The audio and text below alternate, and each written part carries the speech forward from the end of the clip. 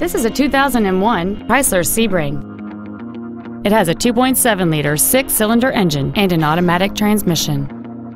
Its top features include a power driver's seat, cruise control, an auto-dimming rearview mirror, a CD player, leather seats, aluminum wheels, an illuminated driver's side vanity mirror, a passenger side airbag, a keyless entry system, and an anti-theft protection system.